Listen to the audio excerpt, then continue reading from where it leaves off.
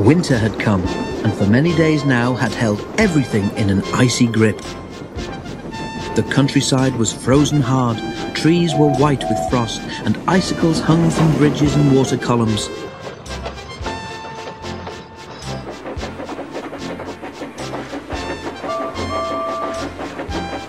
Mercifully, there was little snow. Too cold for that, thank goodness, shivered James's driver as he and the fireman huddled on the sheltered side of the cab.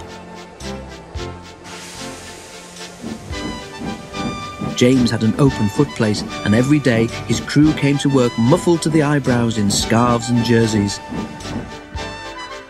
Sometimes water columns froze too, and then the engines could not get the water they needed. But this never happened at the work station, and one day, when the frost seemed harder than ever, James's driver stopped him beside the water column there. We'll give you a good topping up while we can, he said. There's no telling when we might get some more.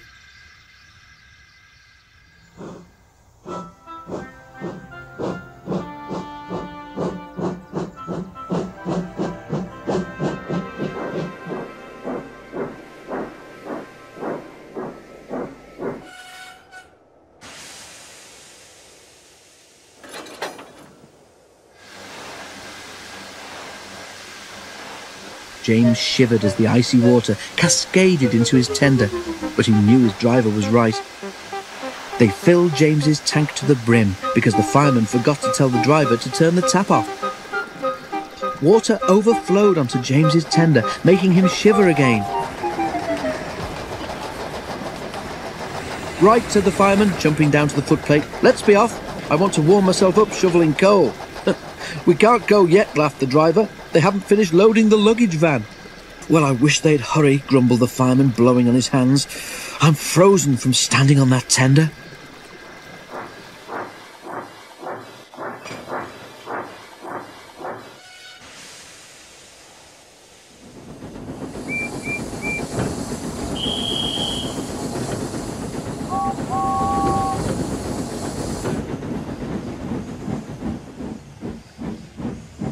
All engines have a tap called an injector. It allows the driver or fireman to transfer water from the tender to the boiler and is very important. Without it, the water level in the boiler could become too low to make steam properly.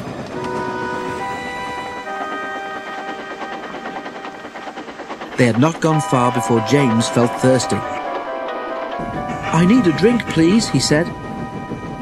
His driver switched on the injector, but nothing happened. The fireman tried his duplicate. Still nothing. I've got such a pain, groaned James. Your injector's failed, said his driver. Blockage in the pipe, most likely. We'll have to stop and deal with your fire. Can't go on without water.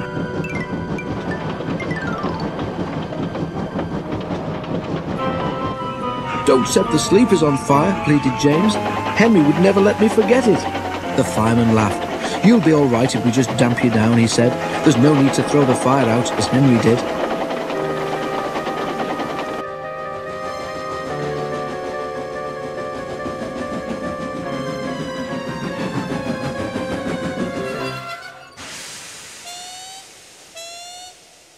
They stopped near a signal box and James's driver asked the signalman to telephone for help.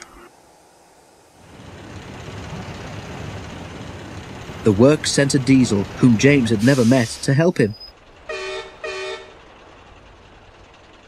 Rescued by a diesel, he snorted disgustedly. It's degrading. I won't go. But he soon changed his mind, because now that his fire was down, his boiler was cooling, and he could feel the icy wind.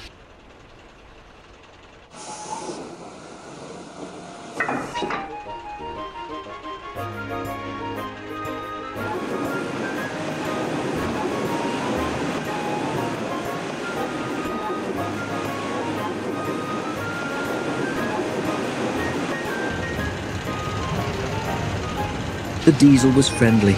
James was quiet at first, but by the time they reached the works, the diesel had won him over, and the two of them were chatting like old friends.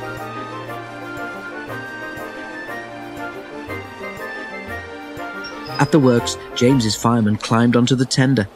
He tried to open the filler cap but couldn't. There's your answer, James, he said. Your filler cap's frozen solid. That's because the water overflowed. Ice is stopping air from getting into the tank, so the injectors can't work. You'll be all right when the ice melts. He was, and that wasn't all. Thanks to his new friend from the works, even James now admits that diesels can be useful engines too.